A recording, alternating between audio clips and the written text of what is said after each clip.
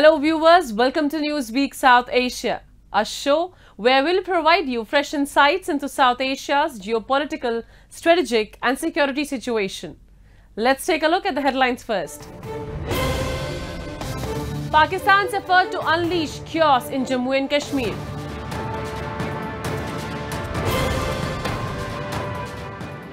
Balochistan's natural riches and struggle for a better future amidst challenges. And China floods cause billions in damage, disrupt economy.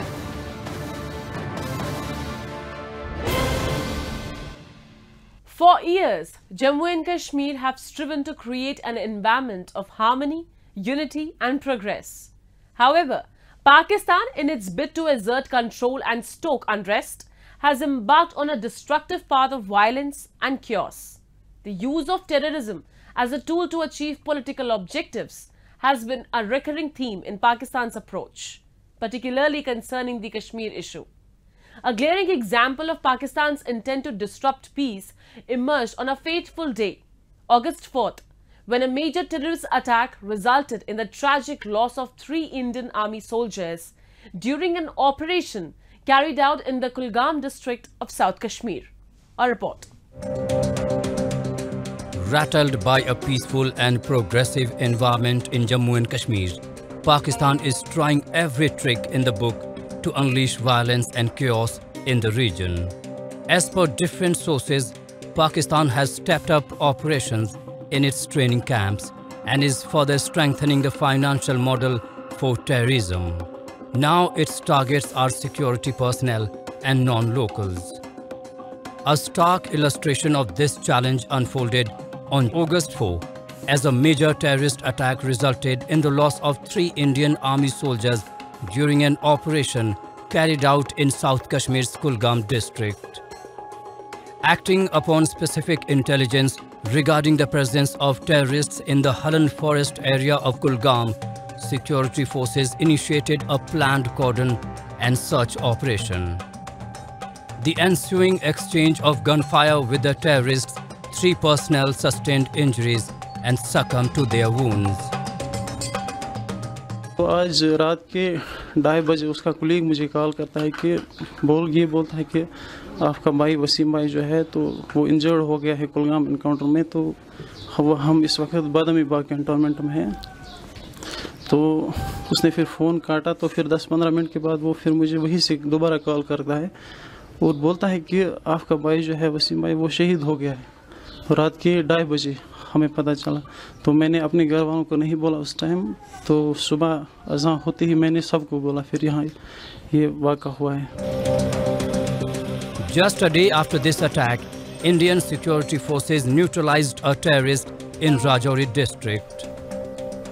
A search operation was also launched by the Indian Army and the Jammu and Kashmir police to capture the terrorists responsible for the death of three army soldiers. जवाबी हमले में एक आतंकी मारा गया। इसकी शिनाख्त नहीं हो पाई है, लेकिन जो इसके बिलोंगिंग्स हैं, उससे ये अंदाज़ा लगता है कि ये पाकिस्तानी टेररिस्ट है। शूज़ इसके पाकिस्तानी हैं, कुछ मेडिसिन जो बरामद हुए एस मेडिसिन वो भी पाकिस्तानी मार्केट के हैं। जिसकी बुनियाद पर कहा जा सकता है कि पाकिस्तानी आतंकी है। The incident came a day before Jammu and Kashmir marked four years of the amendment of Article 370. On August 5, 2019, the Indian government revoked the special status of Jammu and Kashmir, dividing it into two Indian Union territories, Jammu and Kashmir and Ladakh. After the amendment of Article 370, the Union territory has witnessed development at an unmatched pace, attracting investments across various sectors such as tourism, hospitality, retail and manufacturing. However, this progress contrasts with the objectives of Pakistan as it provides an opportunity for terrorist infiltration into the region, contributing to unrest. Intelligence sources reveal the existence of multiple terror camps within Pakistan-occupied Kashmir, from which terrorists infiltrate the Indian side with the assistance of Pakistani security agencies. Adding to the security concerns, numerous confirmed drone sightings have been reported with these unmanned aircraft attempting to breach Indian airspace, often carrying drug packages near the international border. According to media reports, the past year alone witnessed a staggering 311 drone sightings, further confirming Pakistan's sinister plots vis-a-vis -vis the region of Jammu and Kashmir. Despite all the criticism at various global forums, Pakistan continues to employ terrorism as part of its state policy. In a sophisticated world where the other countries strive for peace, harmony and technological advancement, Pakistan's state policy of terrorism is causing violence and is fostering a sense of distrust worldwide.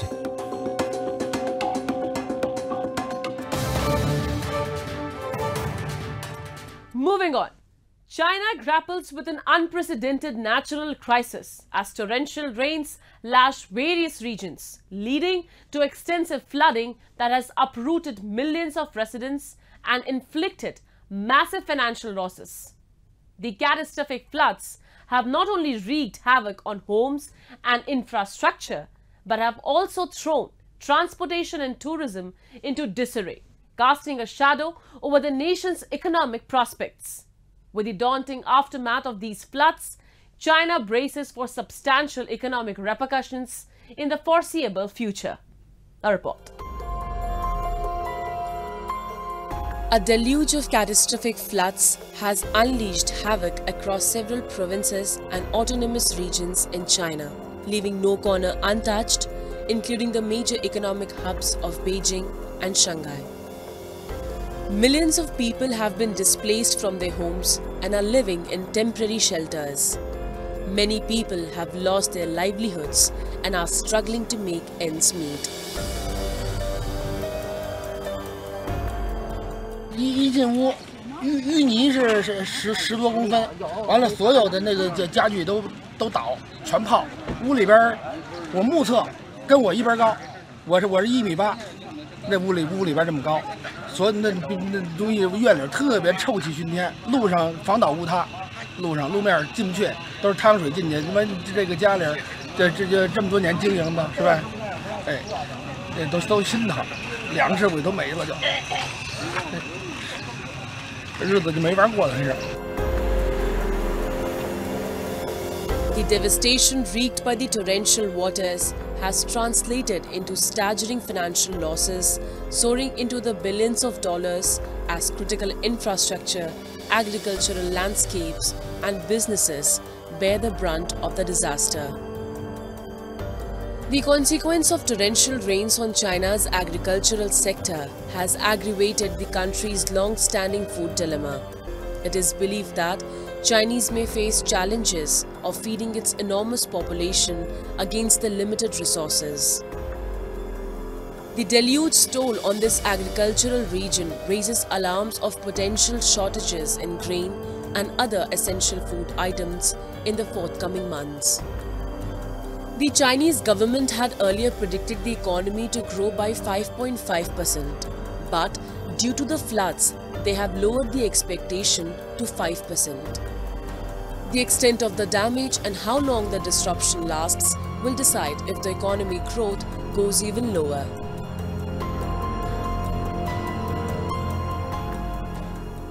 This is a result of the climate change uh, which we are witnessing in China and many parts of the world.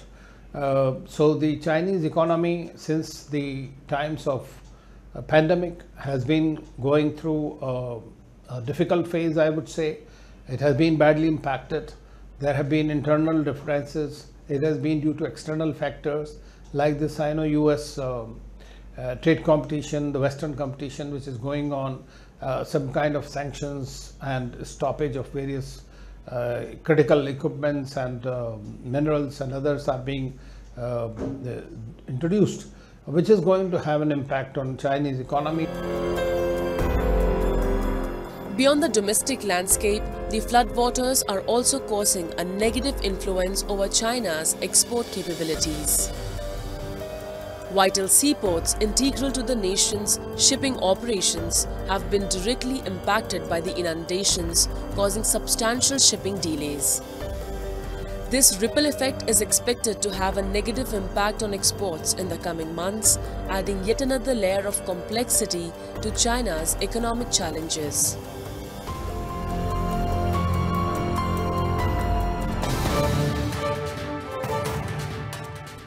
Let's now talk about Balochistan, a province in Pakistan that is rich in natural resources.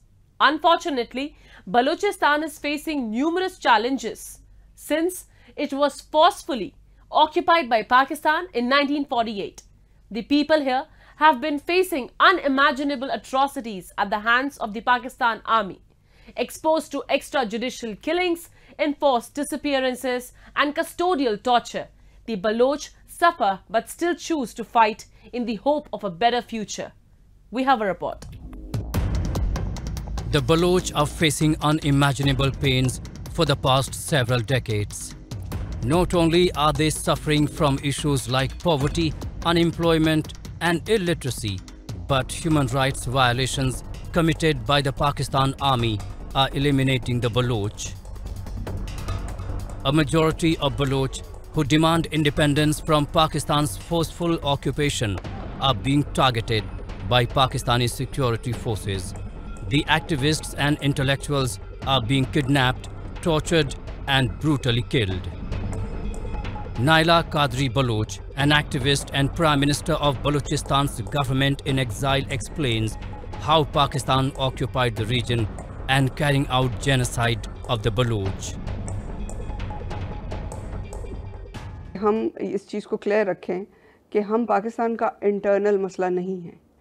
Pakistan और बलूचिस्तान का मसला दो मुल्कों का मसला है। पाकिस्तान ने बलूचिस्तान मुल्क पर कब्ज़ा किया है आर्मी इन्वेजन के ज़रिए, और ये इलीगल है। तो जो हमारे इंटरनेशनल बॉर्डर्स हैं, उससे पाकिस्तान को बाहर निकलना चाहिए। देखिए, बलूचिस्तान के अंदर के लोग जो हैं, उनके लिए तो इस वक्त बलूच कहना भी बहुत मुश्किल है। जो बलूची लिबास पहनकर या बलोची दस्तार पहनकर या बलोची शान से कोई बलोची शेर लिख ले या कोई बलोच हिस्ट्री के बारे में बात कर ले तो उसे तो एंटायर स्टेट कह कर उठा लिया जाता है। तो या उसकी लाश मिलती है या वो उसका कभी वेयर अबाउट्स का पता नहीं चलता और लाश की भी ऑर्गन्स नहीं होते कई बार।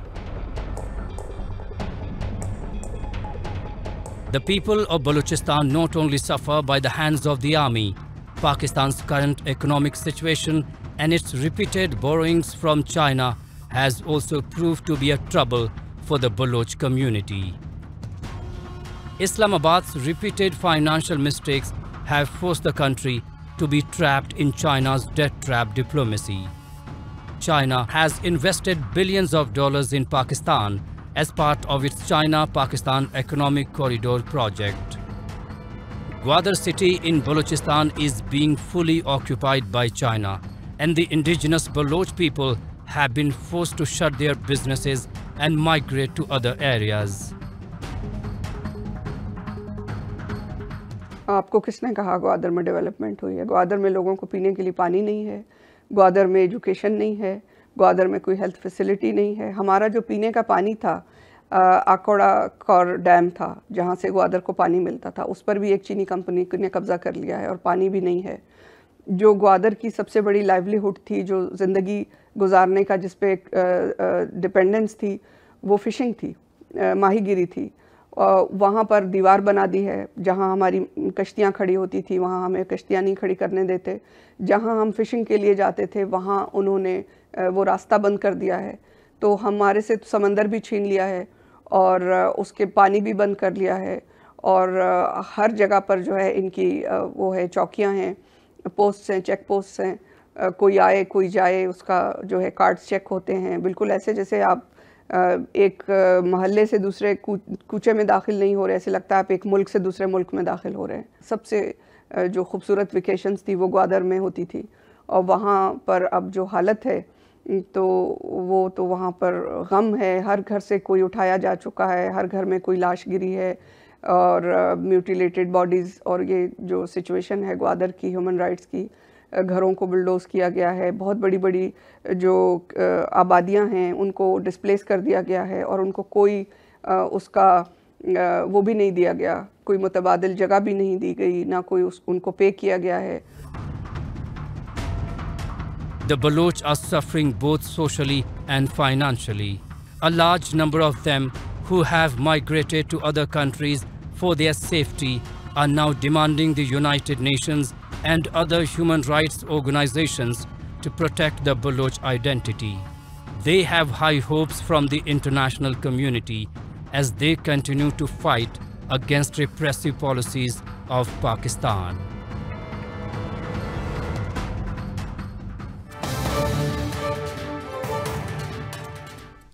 The security forces have now started a number of operations to dismantle the network of Pak-backed terrorism. Islamabad is making desperate attempts to launch infiltration bids in the region. However, Indian Army, with the help of Jammu and Kashmir Police, is putting an end to these terrorists with a commitment to upholding peace and tranquility in the area. In the latest, security forces in Jammu and Kashmir neutralized a Hizbul Mujahideen terrorist in Poonch district. A report. Jammu and Kashmir has remained at the target of Pakistan's state-sponsored terrorism since decades. Be it deadly terror attacks, cross-border infiltration, or indulging into narco-terrorism, Islamabad has not deferred itself from indulging into anti-Indian activities. Recently, Indian security forces thwarted a major infiltration bid along the line of control in Jammu and Kashmir's Poonch district. Indian Army neutralized a terrorist affiliated to Hizbul Mujahideen terror outfit. The killed terrorist was identified as Munir Hussain, who was a self-styled division commander of Hizbul Mujahideen. According to police officials, Hussain had masterminded a number of attacks on security forces and was a close associate of Maulana Dawood, who in turn is a close associate of Sayyid Salahuddin, the Hizbul Mujahideen founder. After the first light in which dead body of one terrorist was recovered, the killed terrorist was identified on the basis of police records as Munir Hussain, son of Satar Muhammad, a resident of Bagyaldhara village, Poonch. He was a dreaded terrorist, a divisional commander of the Hizbul Mujahideen. The individual had gone to Pakistan occupied Jammu and Kashmir in the 1990s and has masterminded a number of attacks on the security forces. Input suggests that he has given he has been given the task of revitalizing the terrorist activities in southern part of the Pir Panjal ranges. Poonch, akin to several other areas in Jammu and Kashmir, find itself entangled in the crossfire of geopolitical tensions and territorial disputes between India and Pakistan. Located in the close proximity to the line of control, Poonch has become a vulnerable hotspot for infiltrating terrorists who are determined to sow disorder and advance their objectives.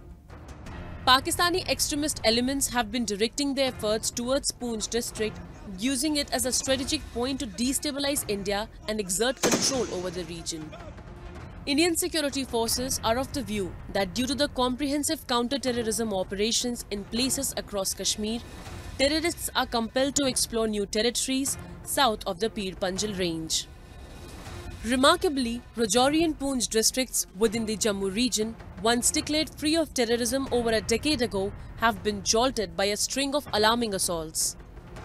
In a tragic incident, Dangri village in Rajouri district fell victim to a terrorist strike in January 2023, resulting in the loss of seven innocent lives. Subsequently, in April and May of the same year, separate attacks in Poonch and Rajouri districts claimed the lives of five soldiers and five civilians, including two children. The relentless wave of violence has sent shockwaves through the region, raising concerns about security and stability. The region's enduring struggles against terror and the evolving tactics of extremist groups highlight the ongoing challenges faced by both local authorities and security forces as they strive to safeguard the peace and well-being of the populace. Now ISI has targeted the region in Jammu, that is the Rajouri and Poonch areas. The reason is that Rajouri Poonch area is a very hilly terrain. It has many natural hideouts and it has a lot of undergrowth and forest growth otherwise. And it's very easy for a person to hide in there and spend a lot of time hidden from the security forces. Therefore, they have now focused on this region. Second is that after Hill Kaka, that was a big militant terrorist stronghold in the 90s, was totally vacated, all these terrorists killed by the Indian Army, they, that area has been a focal point even today for the ISI. They are of the opinion that they can revive terrorism in Jammu and Kashmir from the Rajouri and Poonch area. In a resolute mission to restore tranquility to the Union territory, Indian security forces are unwavering in their dedication. Recent developments reveal a series of operations spanning Jammu and Kashmir, leading to the successful elimination of numerous terrorists, including foreign nationals. Latest technology like surveillance cameras, night vision cameras, heat sensing gadgets are being used by the security agencies to stop infiltration by the terrorists and stop supply of illicit drugs from across the border.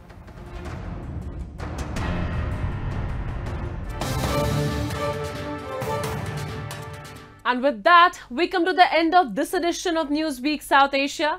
We'll be back next week with more news, views and analysis from the subcontinent. Meanwhile, do keep writing to us at nwsa at anin.com. This is Shivangi Mishra signing off on the behalf of the entire production team of Newsweek South Asia. Goodbye and take care.